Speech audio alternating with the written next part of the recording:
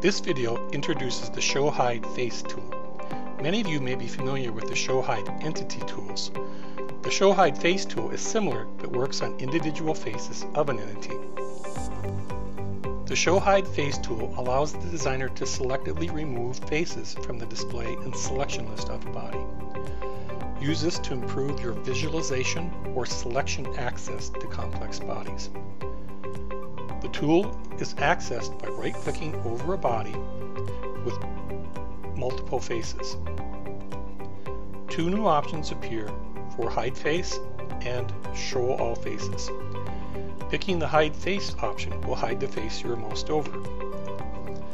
In this example, we remove the canopy surface preventing us from seeing inside our shape. So let's begin by positioning our cursor over the faces we want to remove. Select our face and hide face and we'll repeatedly go through this process until we can see inside our cockpit.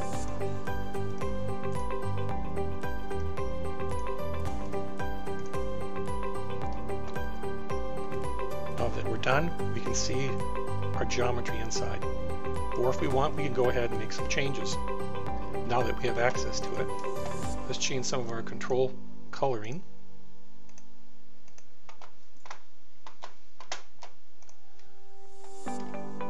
Change these buttons to a, a blue.